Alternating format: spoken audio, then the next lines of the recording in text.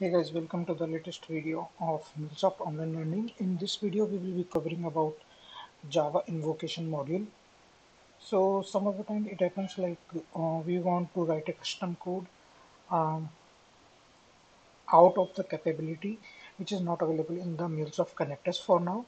But uh, this is very rarest of the rare uh, chances. But uh, in order to accommodate that particular uh, requirement, um, MuleSoft has provided a Java connector.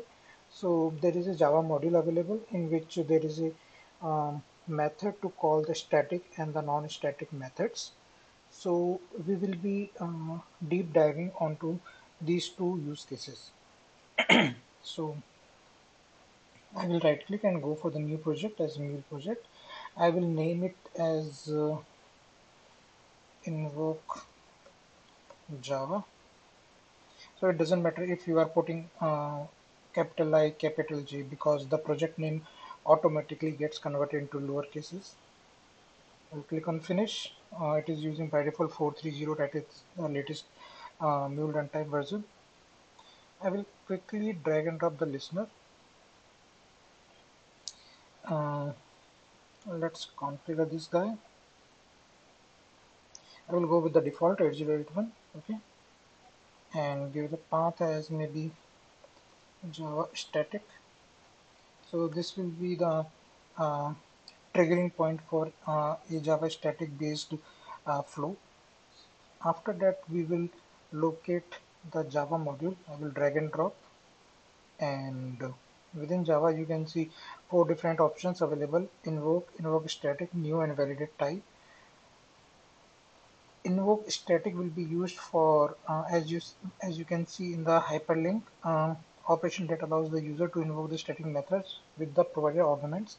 The identifier of the method to be invoked includes the class and the method names being the method a full description of its signature including the types of each parameter. For example if you want to invoke the static method echo with signature as public static string echo within the uh, argument as string message then we have to use echo within bracket string. That's it. So we will follow the same procedure and let's see how to configure it. Uh, drag and drop and uh, always better to have a logger right? Uh, let me configure this thing. So uh, go to the class. We need to add a java class. So I will change the name of package to com dot my company. That's the standard way right? Uh, you can put any other uh, logical name but uh, uh as the standard example uh, people used to refer this com dot my company or something like that. So going with the same. Now here I am putting the name as string manipulation.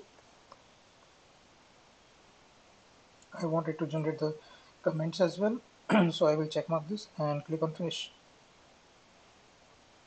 That's pretty much okay. And let's create a static method. Public static. Return type as string. Name of the method could be greetings. It should uh. expect a string message. Let's say name and uh, what it should return it should return a string message. So i will type return. Hello. And i will append the name. That's pretty much simple straightforward okay? Let's keep it that way and uh, save this thing. Let's refresh this so here you can see it is uh, typing the entire signature that is java lang dot string but I more uh, want to be specific. I will keep this strings uh, grading within the argument as a string okay? So the next thing is to uh, I need to pass the arguments. I will click on uh, function and go for the method. Here you can see it is showing me the argument as well okay? So what I will do I will start with the DataWeave the output should be application slash java and after that I need to pass on the name which I will be taking from query parameters as name. That's pretty much okay. I will click on done. And release okay and I am going to print the message as payload. Save it. Let's run this guy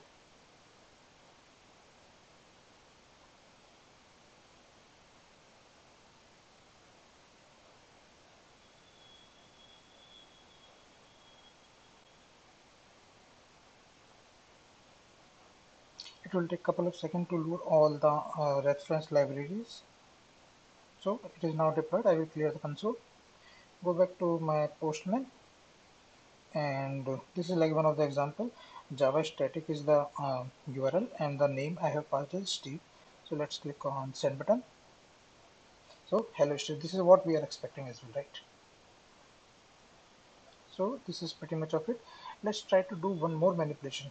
Let's put transfer message and import the same uh, java function. So there is a particular format to that. Uh, just follow this thing.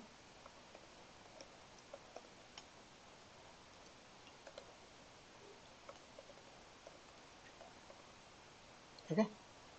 Now I will type uh, message and uh, string manipulation. Greetings. And I will pass on Michael. That's pretty much let's save it. And let's put a logger once again. So what I will do?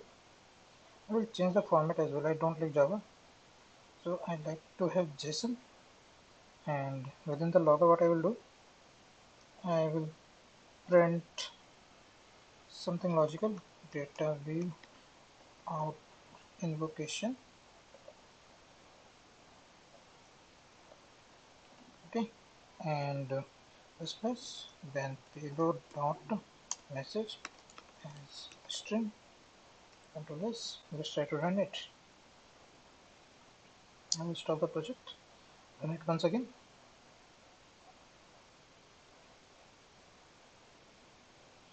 It will take couple of seconds to load.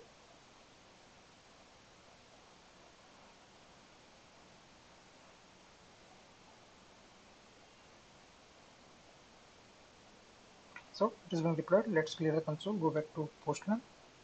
Hit the same message. So uh, Steve it, it will be logged up to this particular logger. So hello Steve is coming up. And after that this transform message is being called. So output of this transform message is being uh, picked up in logger. And DataWeave invocation hello Michael because we have passed on this uh, particular message. Instead of this what you can do? You can try to put uh, maybe dot query params dot dot name let's see how it goes. Let's give it a try.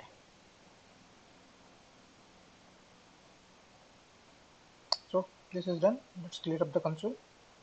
Go back to the postman. Hit the send button. Hello null okay reason being because uh, it is not able to pick up the uh, the uh, the query param name. Okay. So what we can do there is one more, one more option to use it. Let's try to set it up. I will put it somewhere. Okay. I will put uh, name control S I will be using this one over here. So instead of this let's put vars dot name let's see how it responds.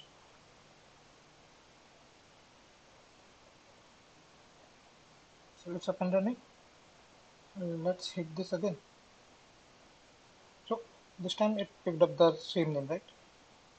So in this particular use case I have shown you like how to use the static method uh, within a MuleFlow and also how to invoke a uh, um, a Java method through data function. Okay. So let's try to further complicate the things. Okay. Let's try to create a non-static method. So what I will do?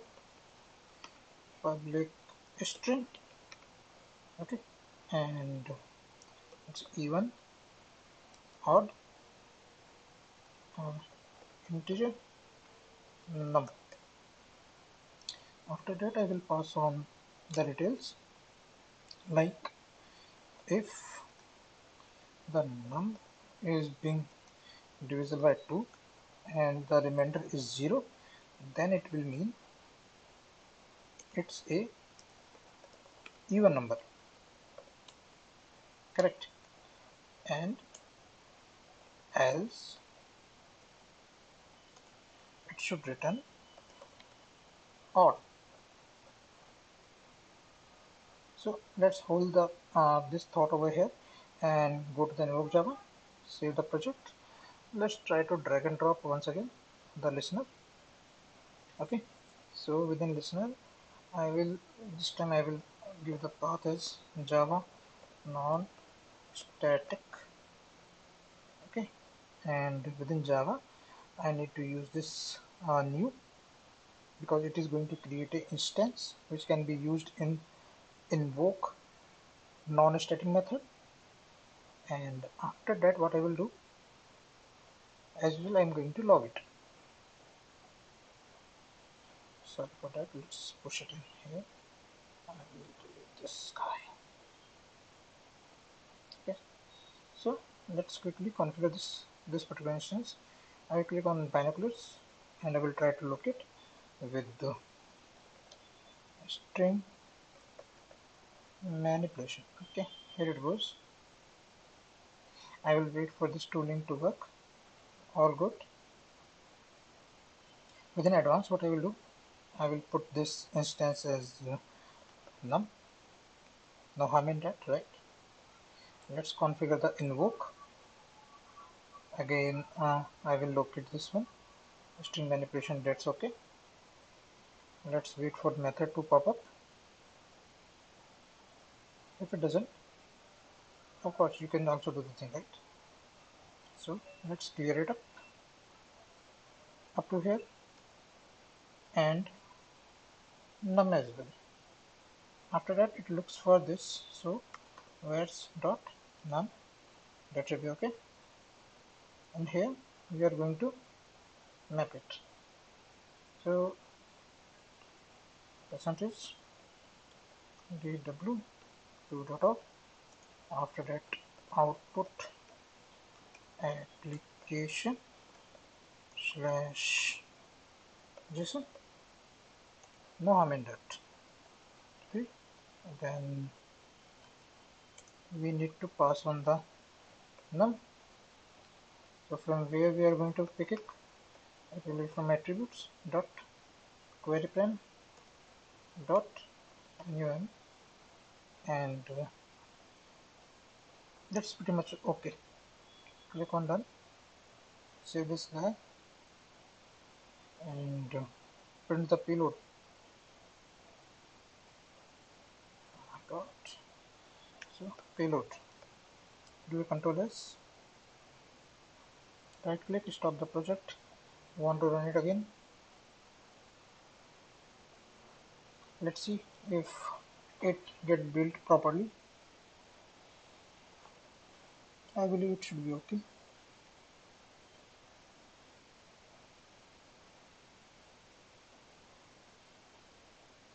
So it is being deployed. I will clear up the console. I will go to the postman again.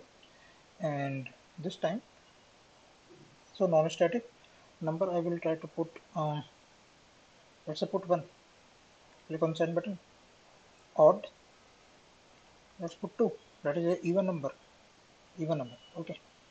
So that's pretty much uh, of this particular uh, uh, Java invocation use case. I hope you like this particular video. And in this video we talked about how to call static and non-static functions in Java and how even to use the DataWeave function in order to call a uh, static Java method.